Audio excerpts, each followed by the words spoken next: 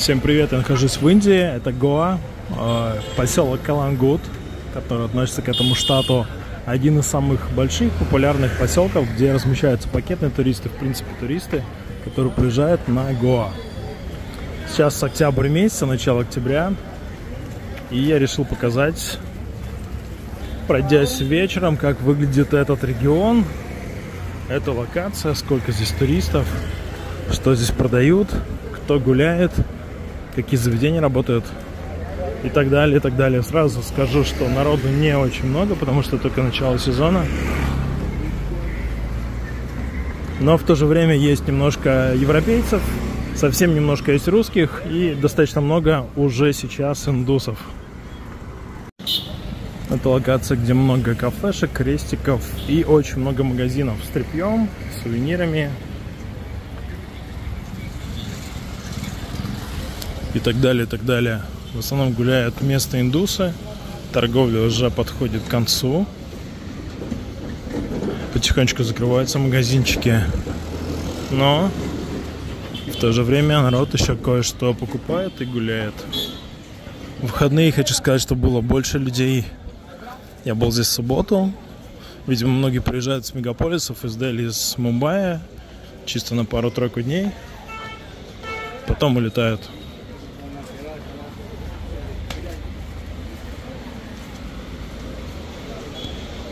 Алкомаркет.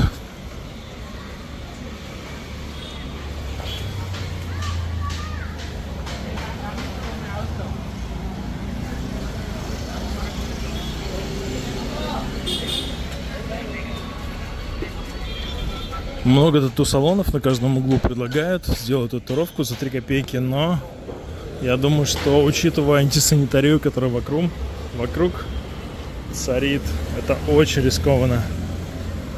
Также много собак и есть свободно гуляющие по улицам коровы.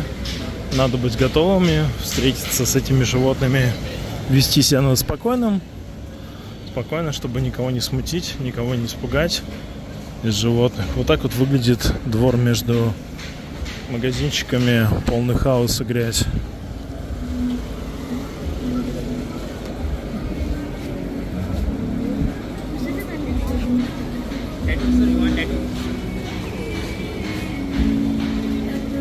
Данная дорога идет к морю. Чем ближе к морю, тем больше людей, больше активностей.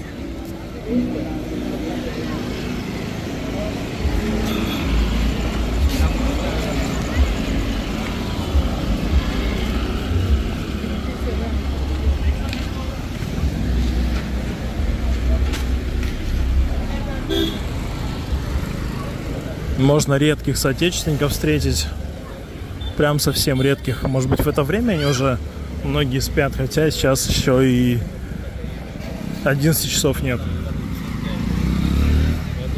Но объективно здесь скучно, делать нечего, кроме как покупки сувениров и ужина. Сложно что-то представить. Клубы ориентированы на местных, там индийская музыка со всей спецификой. Вот. Э, турагентство ориентировано на местных индусов, туристов, отдыхающих. Нормальные экскурсии сложно здесь купить. И русскоязычные экскурсии не предлагаются здесь. Какие-то базовые сувениры, побрякушки, товары для моря и простенькая одежда. С этим проблем нету. Также есть алкоголь. Также есть незамысловатая еда.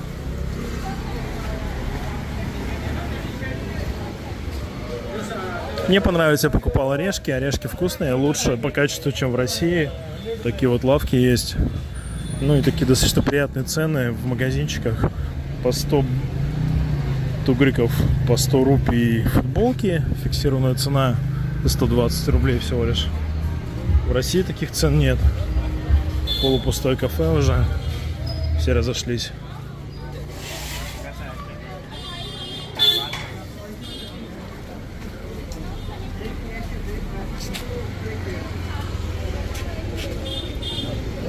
Майку можно купить от 100 до 150 рупий, это до 200 рублей. Футболку рублей за 300 можно неплохого качества купить.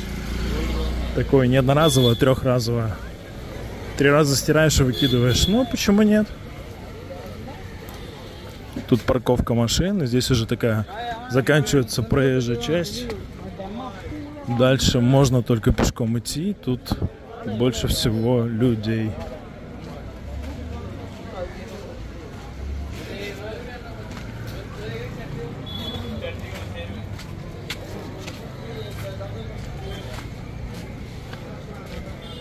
Странно увидеть европейскую девушку в компании индуса, но знаю, что некоторые русские девушки предпочитают голландцев и даже выходят замуж за них. Странное явление, но, может быть, кто-то напишет в комментарии ему обоснование. Настолько плохие русские мужчины, или, может быть, совсем женщины отчаялись, или, может быть, гуанцы дают в сексе больше, чем русские. В чем секрет? Самая активная зона, но потихонечку сворачиваются. Сода, лимонад и так далее.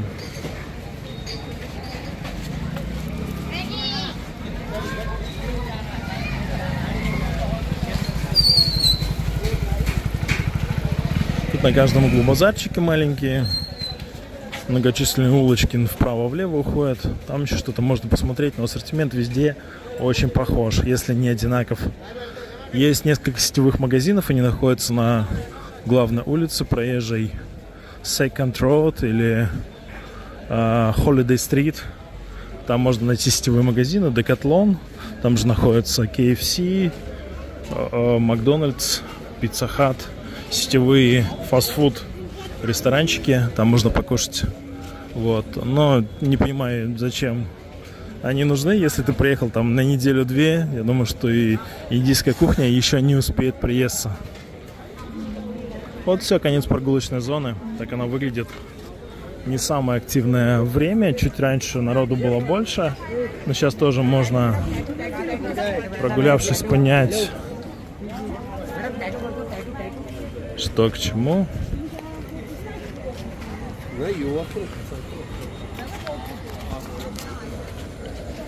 Так, и я дойду до моря. Много здесь попрошаек, много бедных, бездомных людей с детьми, стариков, которые просят милостыню, спят на улице, можно сказать, вон один из ярких примеров. Мужчина спит под открытым небом, небом в грязи, в мусоре, на земле холодной.